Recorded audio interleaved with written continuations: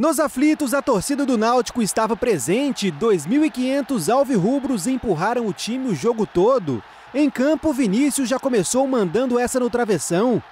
Quando Jailson cabeceou, Tadeu fez uma defesaça.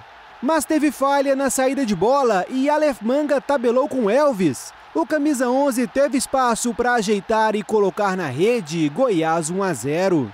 Do outro lado, aquele cruzamento encaixou de novo e Caio Dantas fez o gol de empate do Timbu. Logo em seguida, a virada na base da insistência. Matheus Jesus tentou uma, duas vezes e perdeu, mas depois recebeu na cara do gol, Náutico 2 a 1. O Goiás partiu para cima, Aleph Manga e Elvis colocaram o goleiro Anderson para trabalhar. Mas Tadeu também apareceu nessa pancada do Jean Carlos. No segundo tempo, Goiás apostou em Wellington. Ele tirou do goleiro, mas parou em Camutanga. O Náutico respondeu com Jailson. Tadeu tirou o perigo.